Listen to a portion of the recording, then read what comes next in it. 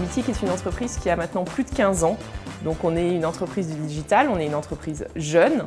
Et en même temps, 15 euh, ans dans le digital, c'est euh, relativement long. Donc on a besoin de se renouveler et on a besoin aussi d'être attractif vis-à-vis des étudiants. Les étudiants, avec les collaborateurs de Carrefour, travaillent sur des problématiques concrètes, des vrais projets. L'intérêt pour Carrefour, c'est euh, déjà de pouvoir soumettre à des étudiants des sujets suffisamment larges pour qu'ils puissent créer des, des, retours plus créatifs, plus disruptifs, sur lesquels ils ont un regard extérieur. On est une entreprise de retail, donc on a un sujet qui les concerne de toute manière directement euh, dans leur quotidien. Je suis diplômée en architecture d'intérieur et design d'environnement à l'école LISA et Carrefour nous a consultés pour deux grandes thématiques. On leur a demandé de, travailler une, euh, une, opération euh, sociale virale pour Mythique et on leur a fourni pour faire ce travail à la fois un brief comme une agence mais également euh, notre plateforme de marque et toute notre, euh, toute notre charte euh, de manière plus large. C'est important d'avoir un rapport avec les écoles pour avoir un, regard un petit peu neuf et un peu extérieur sur les, différents projets, d'avoir la possibilité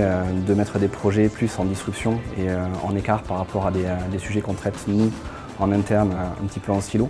Le résultat de ce travail, ça a été des retours des étudiants qui ont été extrêmement intéressant, tellement intéressant qu'on a diffusé certaines opérations virales directement sur nos réseaux sociaux en mettant en avant les groupes d'étudiants et en faisant voter notre communauté tout en amplifiant avec euh, du budget derrière euh, sur, euh, sur Facebook. C'est aussi important de s'engager quand on est professionnel auprès des écoles et des jeunes. Donc on est aussi là pour les guider, pour donner un petit peu ce recul et ce regard professionnel aux choses et repérer les différents talents qui émergent dans les écoles euh, pour pouvoir donner de la force et de la stratégie euh, à l'innovation de Carrefour éventuellement les futurs recrutements et les futurs collaborateurs. Les métiers de demain, euh, de toute évidence, seront des métiers de créativité.